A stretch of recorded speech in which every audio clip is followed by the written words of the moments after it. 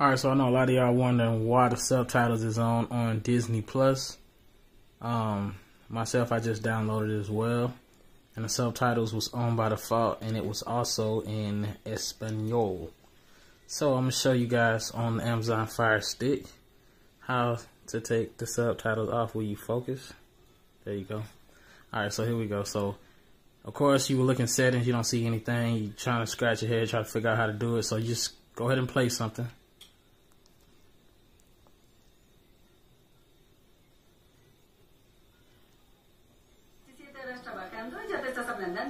As you can see, Spanish subtitles, Spanish audio.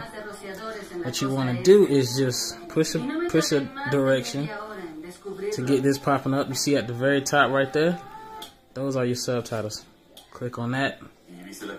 And for those who didn't see that, just push down, up, just any direction to get the play bar going across. Top right corner, right there, that little box right there. You want to go up, click on that. And subtitles, change them to English, or you can just turn them off. Then you go across to audio. You can put it on.